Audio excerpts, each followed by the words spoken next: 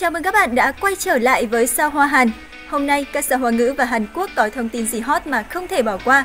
Ngay bây giờ hãy cùng mình theo dõi nhé. Song Hye Kyo và tình trẻ Jang Ki Jong liên tục tình tứ, netizen nói có gì đó thật chẳng sai.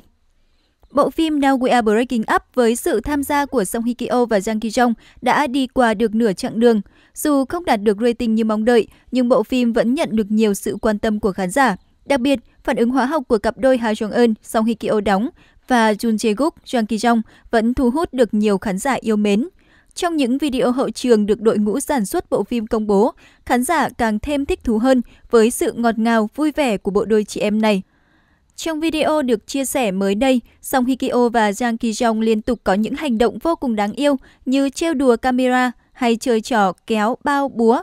Có thể thấy dù là một diễn viên đình đám hàng đầu xứ Hàn với kinh nghiệm diễn xuất lâu năm, nhưng Song Hye Kyo luôn vô cùng vui vẻ ở trường quay và tạo ra bầu không khí thoải mái.